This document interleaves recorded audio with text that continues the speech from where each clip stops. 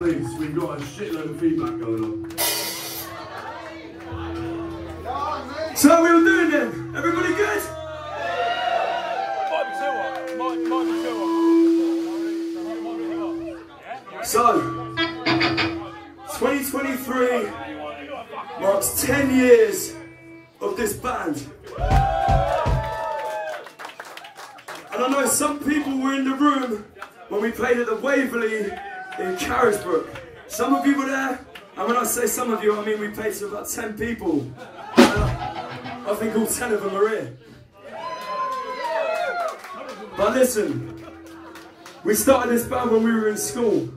And we've had opportunities we could have only dreamt of. And this, I will be forever grateful to what we've been able to do. So these two lads have been able to do it with them. For every one of you that supported us, it's a heartfelt thank you from me and from the band. And tonight we're going to take you through the decade of grade two. The full 10 years we could be in the British History Museum at this rate. It's an older one. It's called Mr. Industry.